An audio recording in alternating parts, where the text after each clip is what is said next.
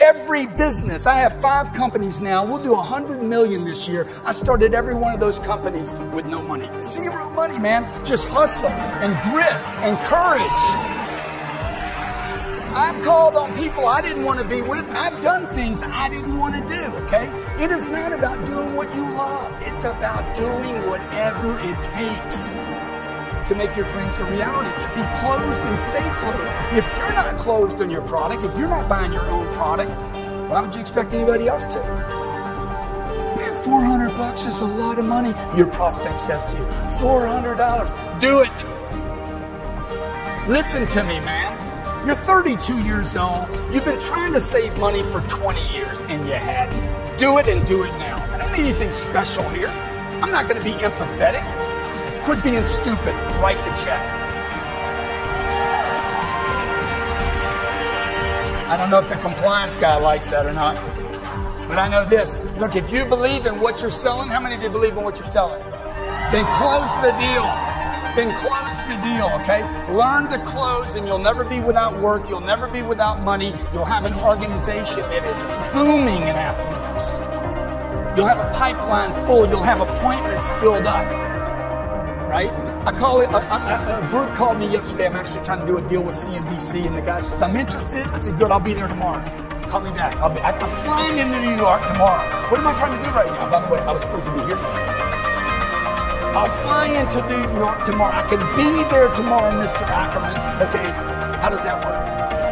I can't do tomorrow. I was going to be here anyway, and I'm trying to close the deal.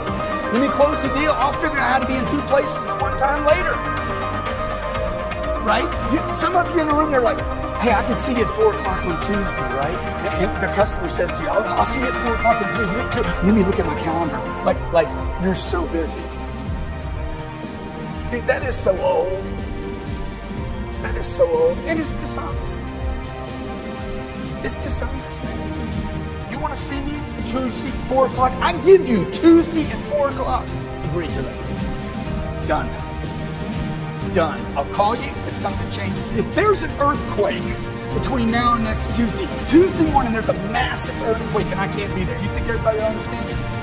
Commit first, figure the rest out later. Close the deal right now. Fill your calendar up. Your calendar's got the devil all over it. White space on a calendar and you will meet the devil.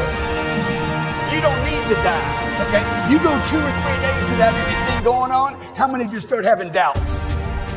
You're in hell. Oh my God, this isn't to work for me. There's nobody coming in. I'm not going to hit my target. Okay, I know what I'll do. I'll lower my target.